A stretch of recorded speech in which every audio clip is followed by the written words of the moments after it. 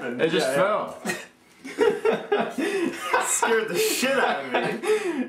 Oh shit, we gotta put that on YouTube. That scared the shit out of me.